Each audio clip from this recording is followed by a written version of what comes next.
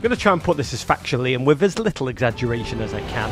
We're now to the stage of the Messiverse when leaked audio of a personal insult from an opposition coach about Lionel Messi becomes global news that Royals fans across international borders. Monterrey is moving on. Before we get to Messi being called a possessed dwarf, a crap you not, that's the exact barb we're dealing with here. Heavy. Some context. Let me take you back to the first leg of the CONCACAF Champions League, and Messi wasn't even playing against Mexican side Monterrey, the King's right hammy, sidelining him for two months, four games. Messi! With Miami leading 1 0 in the quarter-final home leg. Opening goal for Inter Miami. 20 year old Honduran midfielder David Ruiz picked up back to back yellows just four minutes apart. So David Ruiz, he has now been sent off. Whom amongst us has not had that feeling to smack someone upside the head, even when we're on a yellow card? Inter Miami proceeded to concede twice in the final half hour, lost complete control of the game and the tie.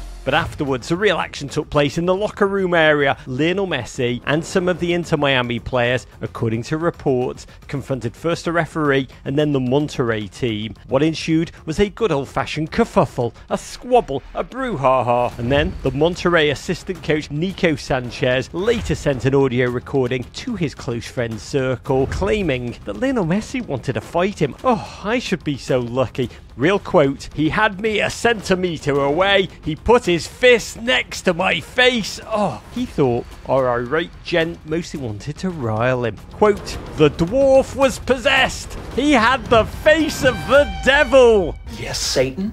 Oh, I'm sorry, sir.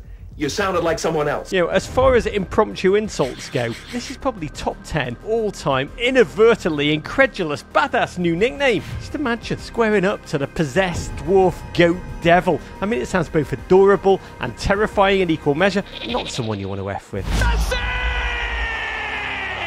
That audio recording somehow leaked to the media, and Sanchez was quickly forced to submit one of those hostage style selfie apology video things that our social media age is just so fond of producing and consuming. Me servirá de aprendizaje para, para más adelante.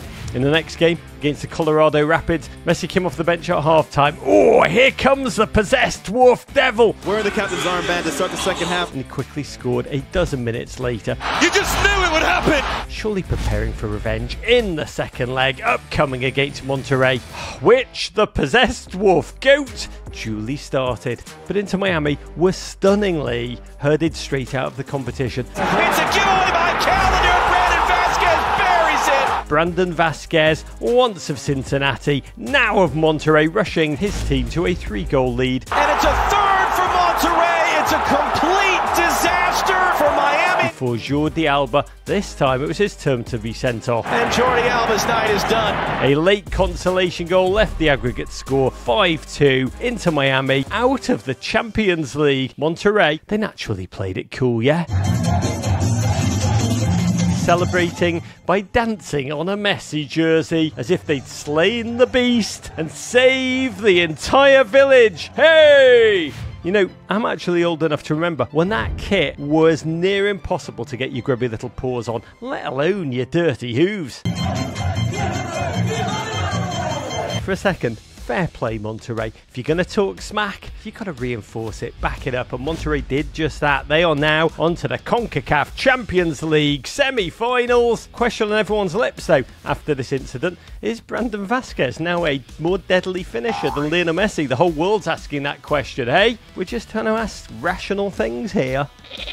Either way, I wouldn't want to be Monterrey the next time Lionel Messi visits Nuevo Leon or the next team on the fixture list, which was Sporting Kansas City, who cruelly picked the short straw of the scheduling calendar and kind of made the best of it because you can bet Messi had an extra mate or three before this one. And though he did take time out of his pre match routine to meet one lucky fan, just happened to be co owner of the NWSL Kansas City Current, he also moonlights as the quarterback Taylor Swift cheers for when she visits Arrowhead Stadium where this match got moved to because of Messi Mania to better accommodate all 72,000 of Lionel Messi's other non Patrick Mahomes fans. By the way, ever wonder what rarefied ultra secret advice elite athletes share with each other in private? Brace yourself because we can bring you exclusive access behind the curtain. Listen to this the key to success in any type of football, as explained to one. Ah. Oh, Possessed Dwarf Goat by Big Pat. So, man, take a look, man. Have fun out there.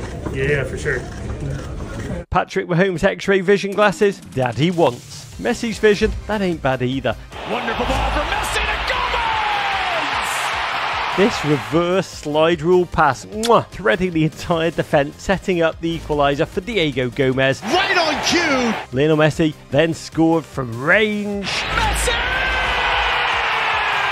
Oh, he's like an Argentinian Caitlin Clark. He gives the people what they want! An absolute paddy whack thwack before Luis Suarez scored from, well, more like Luis Suarez range. In the right spot at the right time. The tap in, sealing a mighty 3 2 win amidst delirious scenes on the road. We're so back, boys! Actually, the only one in Inter Miami who wasn't yet back on regular season form appears to be, oh, Messi's heroic bodyguard. Hello, Yassine! First, he let a selfie seeking fan actually touch Messi. What? Granted, the fan had a 30 yard head start before he could intercept and tackle. So not only did another pitch invader beat Yassine to Messi, he allowed a literal child to actually take a picture oh, in Messi's orbit. Oh, Yassine, the empathy, you wonderful human being. Then, after Tiny Fan hyping up the crowd to cheer his win in a foot race with the iconic bodyguard, if Messi's spike comeback's anything to go by, expect the next pitch invader to meet a brutal Yassine clothesline. That's what my money's on. Oh. Tune in to this week in the Messiverse for all the latest Yassine news, all the latest in Possessed Wolf Goats, and of course, oh, the great Lionel. Only on the Men in Blazers Media Network. Find out what rude nickname Lionel's opponents will call him next. Leo,